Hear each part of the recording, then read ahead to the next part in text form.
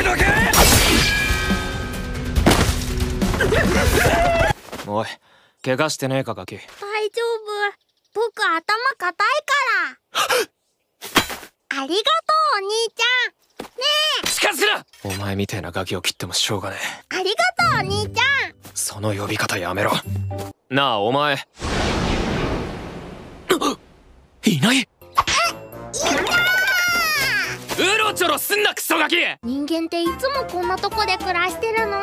あのね最近子供いっぱいさらわれてる。剥製とか見せ物とかにされるんだって。人間か魔族をおもちゃみたいに。痛いとこ治れ。治れな。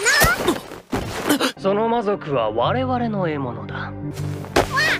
俺は関係ねやだよ。僕お家帰